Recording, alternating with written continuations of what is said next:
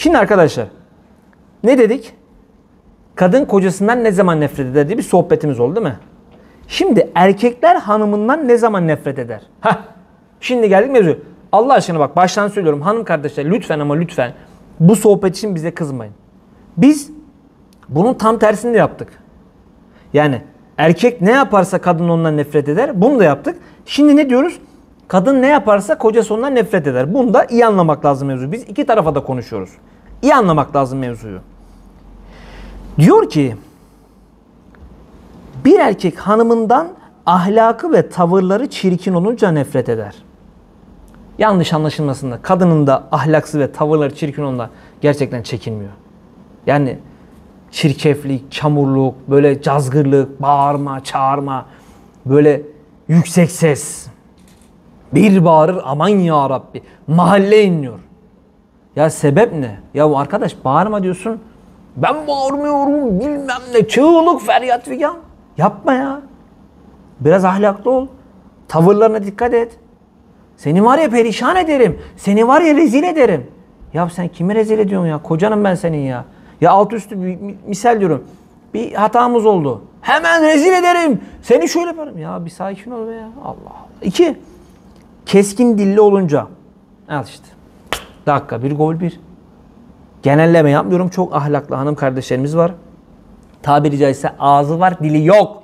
Hanım kardeşlerimiz var ama bazılarına da kardeşim bir dil var. Tabiri caizse komodo ejderi gibi yani. Bir buçuk metre dil var anlayın. Hani derler ya kardeşim pabuç gibi dili var diye. Abi hiç susmaz mı bir kadın ya? Hiç susmaz mı be kardeşim ya? Ya kadınsın. Biraz ağır ol. Biraz edepli ol. Biraz ahlaklı ol. Sus dersin. Sus dedikçe konuşuyor. Bazıları da böyle. Sus diyorsun ya. Sus dedikçe konuşuyor. Keskin dil demek arkadaşlar? Her şeye bir cevap. Her şeye bir karşılık. Ben biliyorum sen bilmiyorsun. Diyor ki kocası diyor karısından ne zaman nefret eder? Aralarındaki şeyleri başkasına anlatınca, aralarındaki sırları. Mesela hanım sana işte misal bu. Sana işte bir yerde yazlık aldım. Zenginse. Hemen. Eşim bana yazık. Ya mübarek anlatma sana ya aramızda kalsın ya. Sürpriz yaptım sana. Niye dillendiriyorsun? Nazar olacak. Hemen.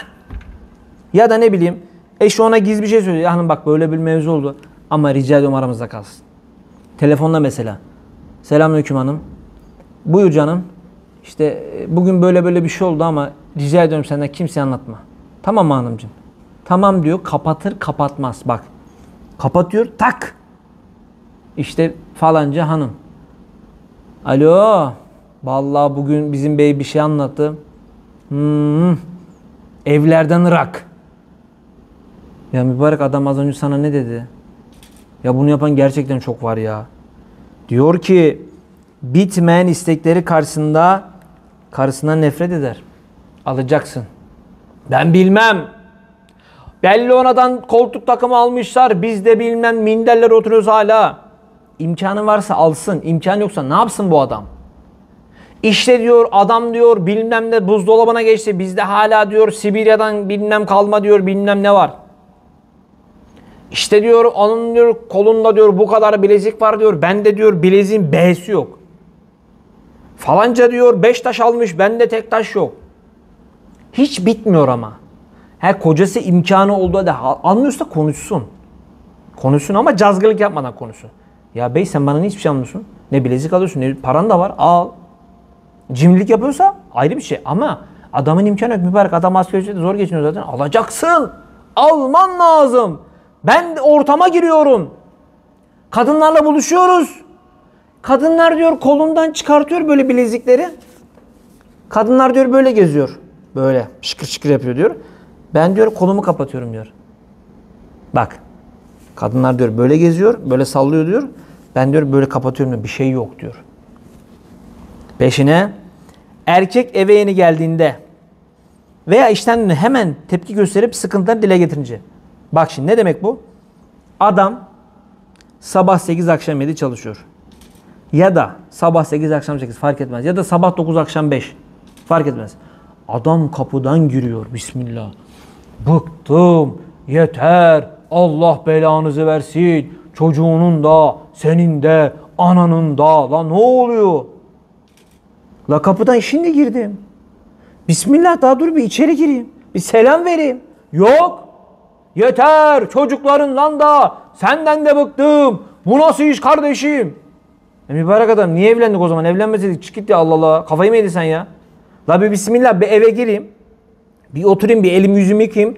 Bir oturalım değil mi? Bir konuşalım. Mevzu ne? Yok.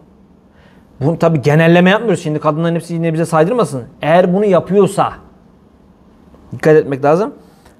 Bunu diyor dile getirirse adam ondan nefret eder. Yahu arkadaş yeter ben zaten akşama kadar işten canım çıkmış, anam ağlamış. Akşama kadar yük indir, yük bindir ya da işte bilgisayar başında muhasebedeyse ya da finansmandaysa kafam zaten patlamış, baş ağrısından duramıyorum. Senle mi uğraşacağım be derse al sana kavga sebebi. Ne bağırıyor? Sen ne bağırıyorsun? Ulan ne bağırıyorsun? Ulan ne oluyor oğlum? O diyor sen ne bağırıyorsun? Sen ne bağırıyorsun? Çocuklar böyle köşede böyle kedi yavrusu gibi çocuklar kalıyor köşede. Ondan sonra çocukların psikolojisi bozuldu. Allah Allah niye acaba? Çocuklar diyor ruh hastası oldu çıktı diyor. Aa niye şaşırmıyoruz peki? E sen ruh hastasısın. Sen ve kocan ikiniz de ruh hastasınız. Çocuk da ruh hastası oluyor. Ve şahsi ve ev temizliğine dikkat etmeninde. Bakın kıymetli kardeşlerim. Hep söylüyoruz. Kadın diyor ki yıllardır diyor kendime bakıyorum. Bak hanım ablalar bana kızmasın rica ediyorum. Diyor ki hanım abla diyor ki ben yıllardır bakım yapıyorum diyor. Şey yapıyorum diyor sabrediyorum diyor. Yine bizimki böyle böyle. Arka, tamam ablacığım sen şu anda bu konu dışındasın. Bak kendine bakan kocasına her türlü iyiliği yapan şu anda bu konunun dışında. Ama bir koca eve geliyor, ev toplanmamış, yatak ortada, sofra ortada, örtüler ortada. Kadın zaten saç baş bir tarafta. Aman ya Rabbel alemin. Adam gece görürse 3 gün uykusu kaçar. Kadın kendine bakmıyor. Kadın da dişini fırçalayacak kardeşim. Kadın da temiz olacak kardeşim. Bakımlı olacak ya. Bak bir daha söylüyorum. Yapanlar hariç bu konu. Pasaklardan bahsediyorum. Pasaklı kadınları diyorum ben. Hemen hepsi üzerine alınıyor. Ya ben belli bir çerçeve içinde konuşuyorum. Bütün kadınlar bana saldırıyor. Ablacığım ben pasaklı kadınlardan bahsediyorum. Adam mesela gayet iyidir, on numaradır. Ama sen ne evine ne kendine temizlik yapmıyorsundur. Ben bunlardan bahsediyorum. Ondan sonra kocan senden nefret eder. Kardeşim dişini fırçalayacaksın. Temizliğine dikkat edeceksin. Yıkanacaksın. Temiz kokacaksın. E, kocana hizmet edeceksin. Hizmet derken kardeşim hizmet etmek zorunda değilsin. Ama sonuçta evin huzuru için işte sofrayı kur, sofrayı kaldır, yemek yap. Bunlarla ilgilenmen lazım. Adam da sonuçta çalışıyor. E, kadının bunları yapması farz mı? Değil. Adamın imkanı varsa, maddiyat imkanı varsa temizlikçi tutar. Yemekçi tutar. imkanı parası varsa. Bu ayrı bir şey. Ama kardeşim kadının evi de temizlerim, yemeği de yaparım. İşte kocama da bakarım, çocuğuma da bakarım diyorsa bu ayrı bir şey. Ama kadın temiz olacak. Bakım ne olacak? Nokta com. Kadınlar bize kızmasın. Erkeklere de saydırıyoruz. Ama hak eden kadınlara da söylemek lazım. Rabbim Celle Celaluhu cümlemizi şerli kadından, şerli adamdan muhafaza eylesin. Amin. Kuntum hayra ummetin uhricet linnâs تأمرون بالمعروف وتنهون عن المنكر وتؤمنون بالله